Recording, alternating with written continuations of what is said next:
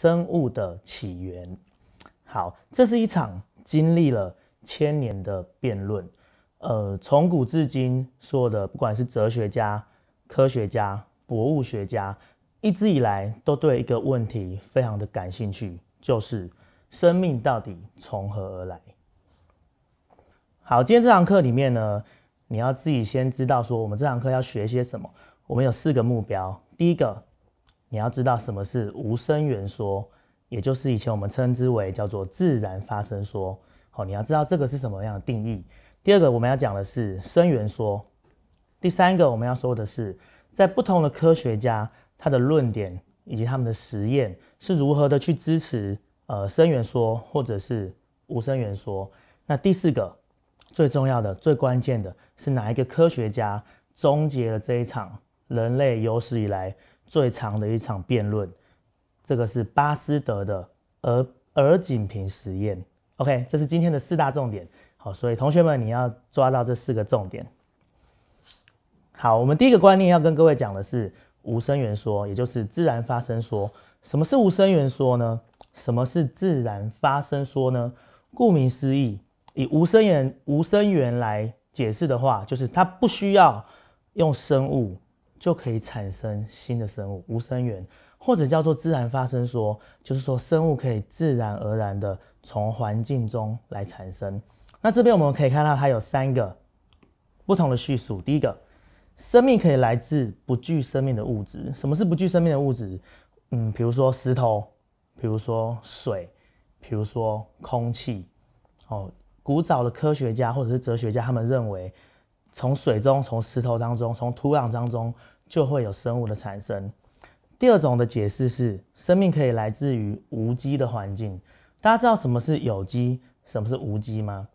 无机的意思就是说，这些东西它是不含碳氢的，好，或者是说另外一种定义，它不是从生物而来的，所以说意思跟第一个一样，就是不需要生物当做背景就可以产生新的生命。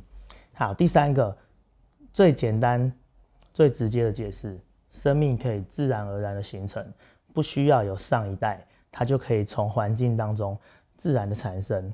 好，那为什么会有这样子的嗯想法或者是观念呢？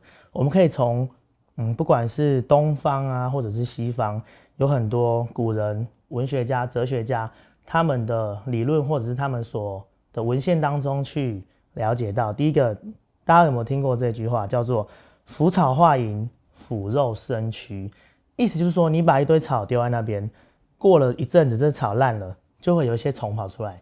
那一块肉放在那边，过了不久就会有蛆产生。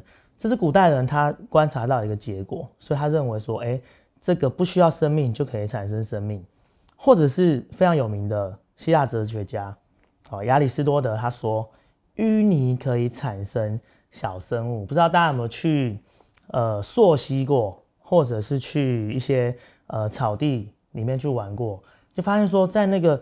呃，石头背后你把它翻开来，里面就有很多小虫啊，这边爬来爬去。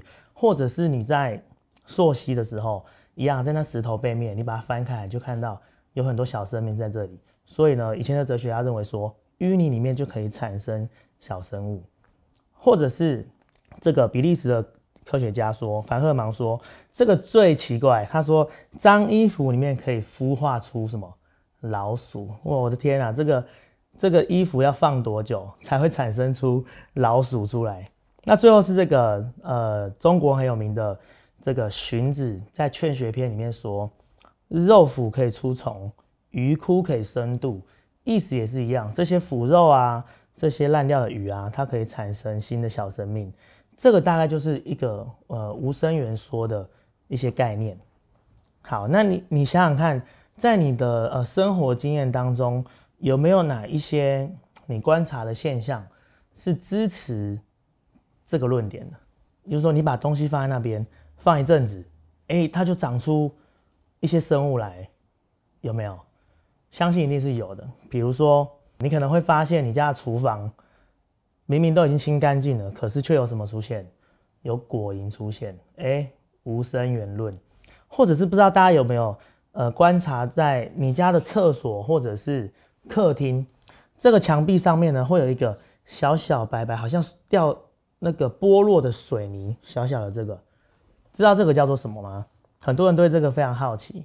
当你看到这个东西的时候，你就会发出一个声音，叫做“一二”，没错，这个东西就叫做“一儿”。